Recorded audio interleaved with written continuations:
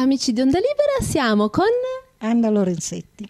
Anna ha una grande passione, vero? Più di una, tante. Questa è la principale, perlomeno quella che riguarda San Costanzo. Costruisco abiti di carnevale e vado poi a Venezia con questi abiti e sfilo a Venezia e poi sfilo un pochino dove mi chiamano perché ovviamente sono richiesta in vari posti. Ma com'è nata questa passione? È nata in un modo ridicolo, perché mm, un mio amico, io sono in definitiva um, per hobby una stilista, per cui un mio amico che doveva andare a una festa da ballo mi ha richiesto un cappello per una festa da ballo a carnevale, un pochino strano. E io ho detto, ma che ne so io come, come farti un cappello? Lui mi aveva chiesto veneziano e mi ha portato le foto di Reuter chiedendomi di copiarne uno. Ovviamente io non, non, riesco a copiare, devo fare di testa mia, per cui ho creato un cappello che allora ci sembrava chissà che cosa di grande, poi in confronto a quelli che faccio adesso era microscopico ovviamente, però insomma è stato, ha avuto tanto successo che eh, lui è stato così contento, così ammirato dagli amici che ho deciso di andare a Venezia per vedere da vicino com'era il carnevale di Venezia. E ovviamente quando sono tornata indietro già avevo in mente il disegno che avrei fatto del mio primo abito, questo era evidente. E poi in 30 anni, via via, ho continuato, ho dato un senso, una continuità a questi abiti che faccio, quindi ho cominciato a fare abiti completamente di fantasia. Poi lei c'è tutto un lavoro dietro di studio, vero? Per ogni soggetto?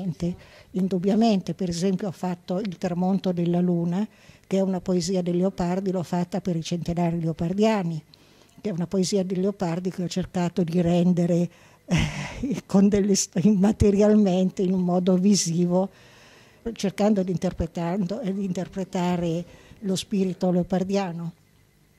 Poi ho cominciato a dedicarmi ai tarocchi perché quelli sono una mia passione.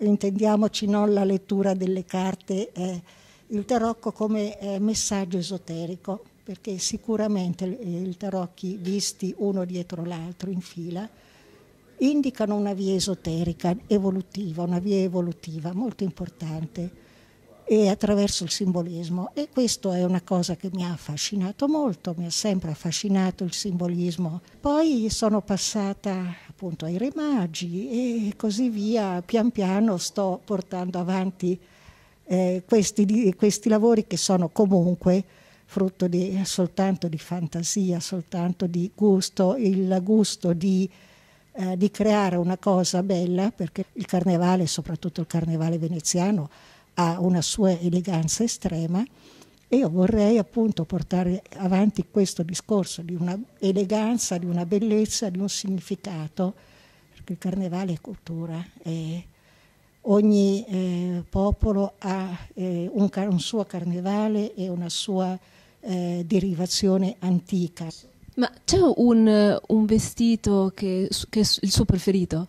Sì, indubbiamente. Sono due. Uno è la papessa, che è, mm, è tutta fatta di veli, piena di veli e tutta coperta con questi veli svolazzanti sulle mani, sul cappello, che rappresenta la, l'interiorità, il segreto che ognuno di noi ha dentro di sé.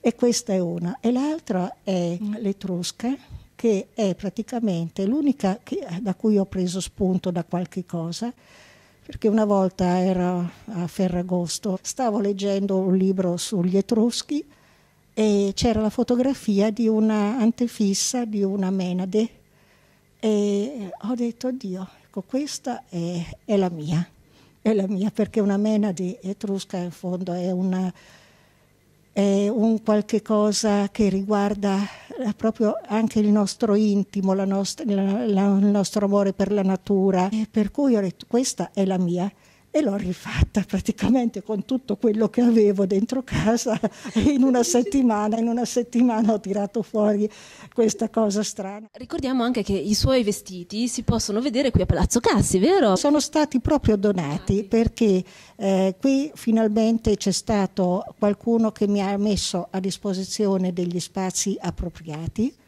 e per cui io ovviamente devo ricambiare questa eh, questa cosa così gratificante per me dicendo non ve li porto più via e quindi questi e quelli che farò li ho donati al, al comune di San Costanzo. Abbiamo aperto da pochi giorni e però sono visitabili. Faremo così, li porteremo a Venezia, li porteremo in giro.